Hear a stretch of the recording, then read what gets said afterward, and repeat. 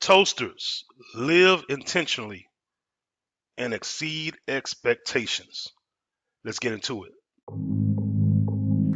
Get your glasses up. Get your glasses up. A toast to the men.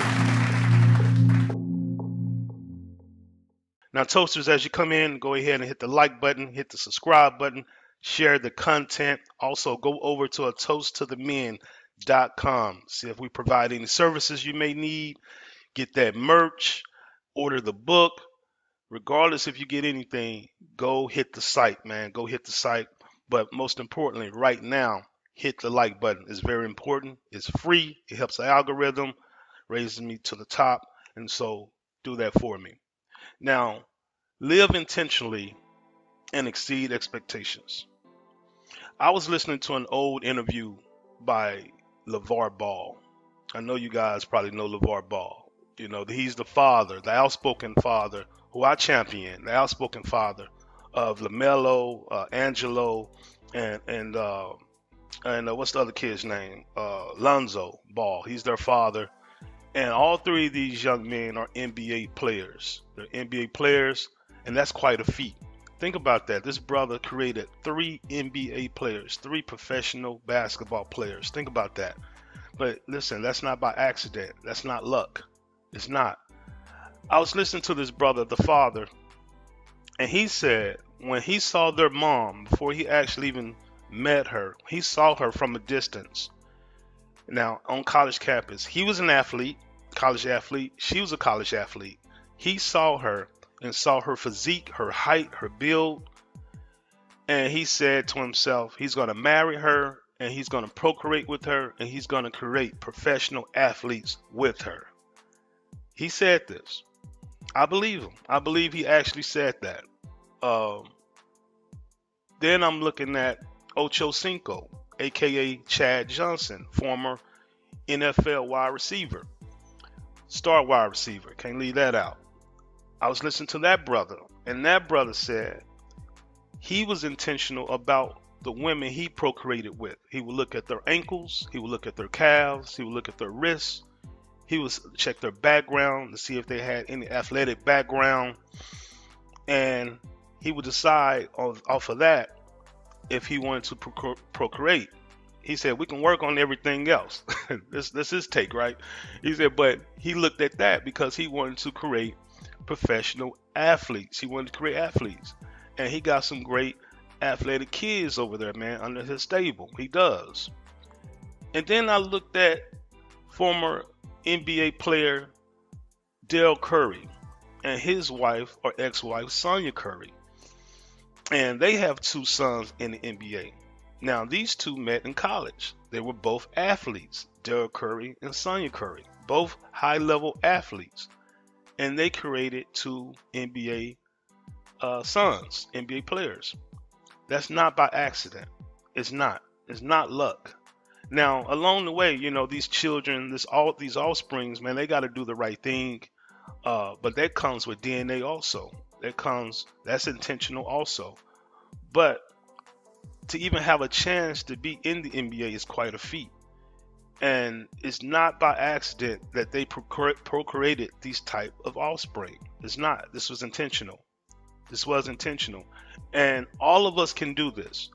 Take away the athleticism. You can do this in an intellectual world, you can do this in the spiritual world, the emotional world. You can manifest and create anything you want to create if you're intentional and attach yourself with someone with the same goal, with the same mission, with the same intent. You can create anything. I'm talking about in business, in relationships, friendships, anything you want to create, you can create.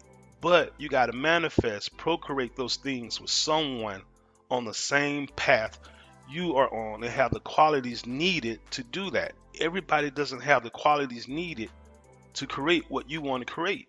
And so you got to be intentional, man. You got to leave the emotion out of it and be logical and be realistic and say, ask yourself, is this person on the mission? Does this person have the attributes, the qualities to merge with me and manifest what I want to do, what we want to do? Do they have it?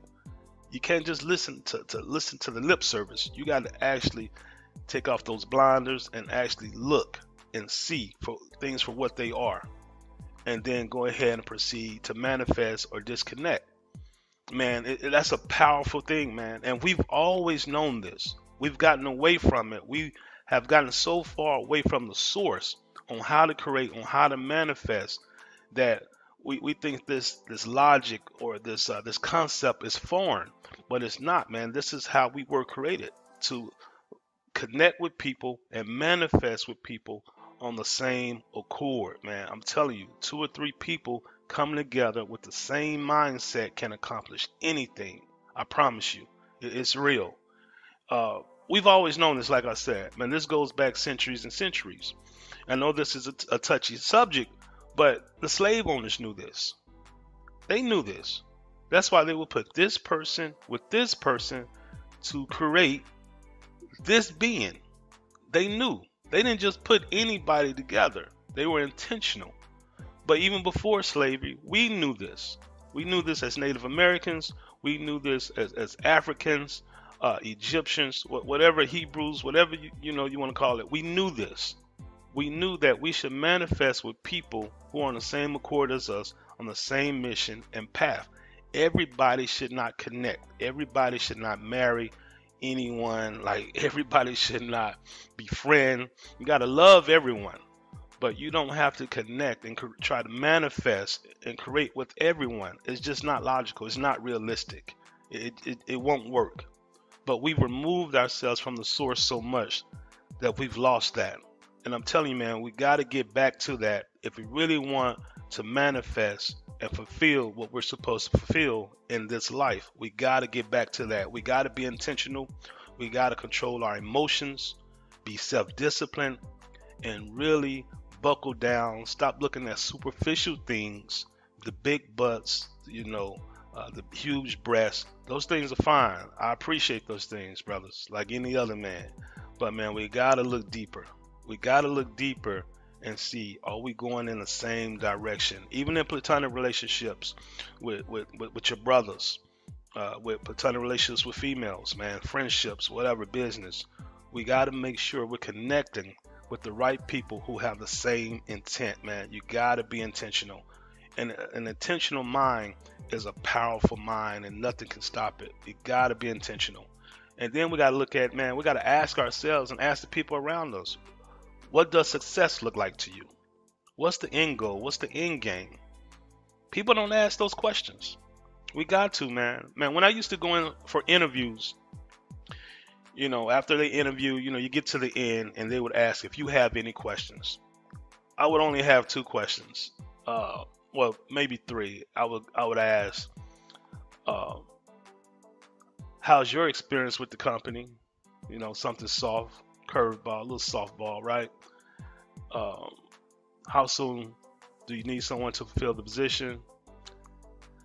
But the kicker, the number one question I would end it with, which would always leave them stumped, I would give a scenario and I would say, if you guys extend an offer and I accept the offer, and I've been with you a couple of months, what will it take for you to say SD has met or exceeded our expectations? It never fails. They go, wow, we've never been asked that. It puts puts the onus on them. It puts the responsibility on them. It puts accountability on them to tell me what does success look like? What does a win look like? What is the end game? What is the goal? How can I succeed? Not only succeed, what does exceeding those expectations look like? It's a direct question. This is the kind of questions we have to ask the people we're connected with, or we want to be connected with, or, or wants to connect with us. But most importantly, man, we got to ask ourselves that question what does success look like? What does a win look like? What is the mission? What is the goal? What is the end game? We got to ask ourselves that question. We got to be intentional in everything we do, man. We have to be intentional. We have to be focused. We have to be disciplined. And we can manifest anything we want to manifest. I'm telling you, man, when you see these people coming together, and manifesting things in business, in relationships with children, marriage, whatever it is. This is intentional. And I know people like to call it classism or prejudice or whatever, man. It's not about race. It's not. It's about intent. What, where are you going? Where is your focus? If we have the same focus and the same intent, we can overcome anything. We can. The other stuff is superficial. The race, the color, the gender, all that stuff is superficial. But if we have the same goal, the same intent, and pure hearts, man, we can accomplish anything. I'm telling you, brothers and sisters, I'm telling you, toasters, be intentional. Like I said, I fall victim to not being intentional myself. But we have to be intentional.